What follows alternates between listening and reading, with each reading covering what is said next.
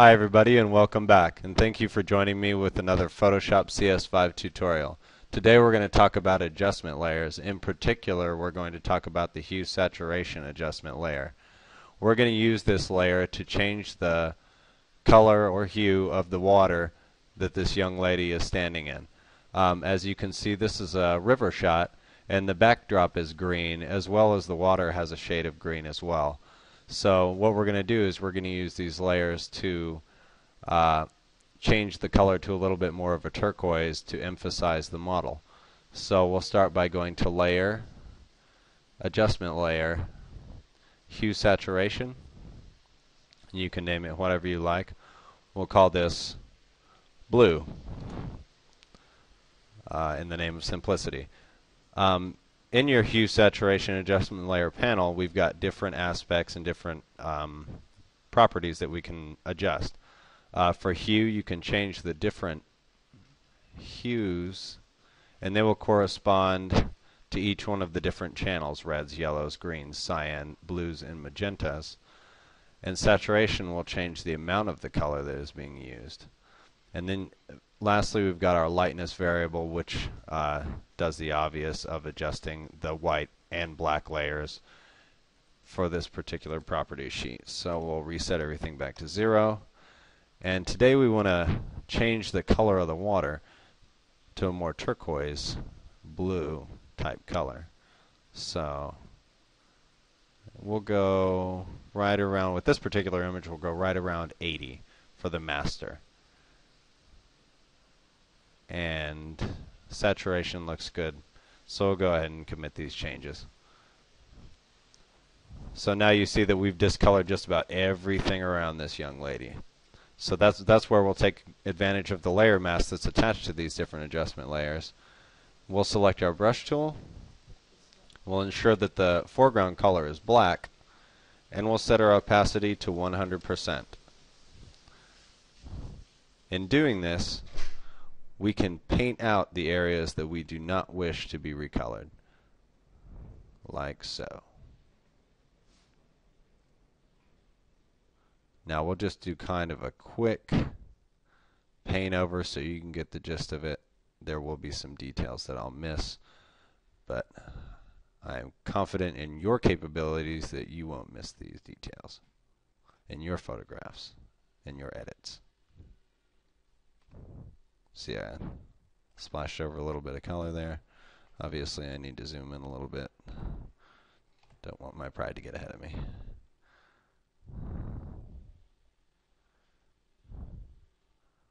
We just want to take the color off her arm, a little bit off the hip.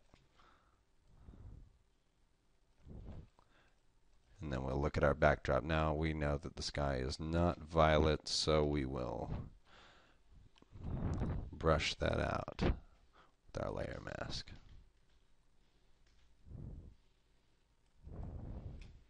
We'll bring that nice forest green back to all those trees. I'm missing a little bit around her head. And there we go. Now, as you can see, there is some discoloration. Oh boy, I missed that whole spot. Here we go. Alright, that's better. So you notice around her body with the different hues and tones and colors in the water that we're going to have some discoloration. I'll show you how to shape that up here by using the solid color.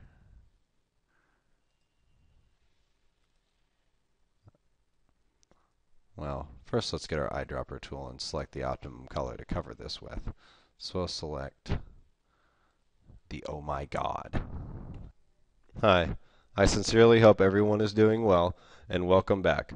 Today we're going to talk about the hue saturation adjustment layer and how we'll use that to change the color of the water in this photograph.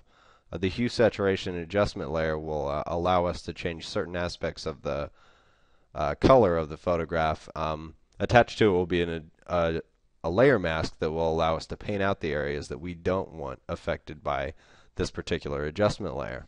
We'll go ahead and get started we'll create a new layer, new adjustment layer, hue saturation. And we'll name this blue for simplicity's sake. and also because I have no idea how to spell turquoise, which you can comment to me later uh, on the particular spelling of that. Um, we could use this uh, this tool, this slider, to pick our color, but I like to use the overall hue master value just to get the uh, the water where I want it. You'll note that um, there is some contamination in the tones, which we could go back and then and select that area to change that particular area's hue as well to more match the turquoise. Well, I can't seem to find an area where that works. Well, that works good enough. And uh, we'll also use the uh, the color adjustment layer, the solid color adjustment layer, to to paint out some of the some of the contaminated colors as well. As you can see, that's uh, that's pretty much completely reversed or uh, tainted some of the colors in the photograph. So if we'll go back to our layers panel, we'll see that it created us uh, a layer mask so that we can paint out the areas that we don't want affected by this particular layer. So we'll do that now with uh, definitely not with the paint bucket tool. So we'll use the, the brush tool at a 100% opacity. Um, 0% hardness, we want a soft brush for this. And we want our foreground color to be black so we can start to paint out these areas that we don't want affected and I'll go quick. I won't go for every little detail. You guys will get the gist of it, and I have faith uh, that in your efforts you will be a little bit more attentive to detail, I'm sure, than I'm being right now. But I just want you to get the overall feel of what we're doing here. So, we've got the smaller areas down here. Don't want under her arms to be that way. Some okay, I said I wasn't going to do that. Alright, let's go. Let's bring our brush much larger for the bigger portion of this. Get the sky all removed from this layer. Oh, see, I spilled over into the water. We've got some of that green back. It's my fault for using a giant brush. Alright, so we'll change our foreground layer again. We'll make sure we got all that stuff covered back there. I think I got it all, or at least the gist here. Um, you'll note that there's still some color contamination. You see purple, some yellow, and there's not a whole bunch we can do about that within hue saturation just because it's such a, uh, a blanket fix for this particular issue. So we'll go back to our adjustment layers button. Well, first let's sample the color we're going to use to cover this up and we'll go with the nice, oh boy. We'll select the actual hue saturation mask. It doesn't help being on the adjustment layer or on the layer mask. So we'll select our color. We'll create a solid color layer and we'll change that blend mode to color or hue. It depends on which one works better in the particular photograph. Either one will do. So in this particular one, we'll go to Edit, Fill. We want to fill it entirely with black. We wanted it. We want to be able to paint in only the areas we need, so the minimal effort. It's my principle. So in opacity, we'll change the opacity level to 75 because we don't want to oversaturate some of the areas, and we'll start to paint in where we need our different, where we need our changes in color. Here in the yellow, we'll get some of that out. As you can see, her figure is still there, but it's just not yellow anymore. And some of these deeper purples back here we'll pay a little bit more attention to. Get a bigger brush and get some of that back there. Now it's not perfect, but you get the concept of uh, where I'm going with that. So there we have it.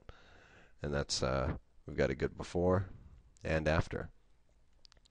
Now should we want to, um, a couple of different things we can do here, just in addition to this particular concept, is uh, we can create a a layer. If you if you hold Alt, go to your flyout menu, merge visible.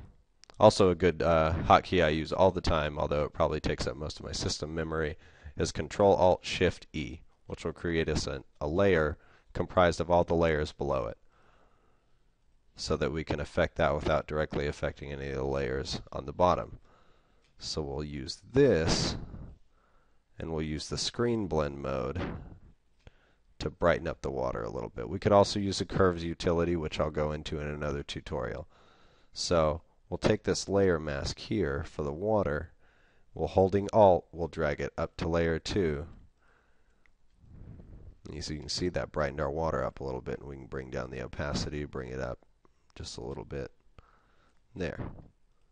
And uh, another thing we could do, just uh, a little bonus tip, is uh, we'll use our same hotkey, Control Alt Shift E, to create another combined layer, and uh, we can increase the vibrance and the color, um, color volume, I like to call it, of the uh, of her bathing suit. So we'll hit that, and then we will uh, create a negative layer mask by holding Alt and clicking the layer mask button. And then we will, ensuring our foreground color is white, we will paint on a little bit of additional color to the bathing suit.